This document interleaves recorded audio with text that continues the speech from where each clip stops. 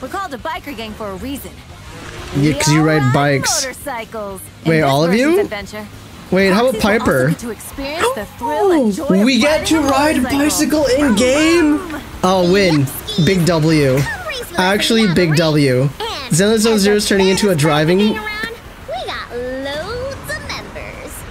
Our biggest baddie Is, is, is, is this? Are they turning it into a racing game? This mode is going to be so successful that HoYoverse is going to try and gacha racing game. They're going to create a gacha racing game. This is the test. I'm telling you this right now. This is a little test to see how popular a racing game is be, and they're going to try and gotchify it.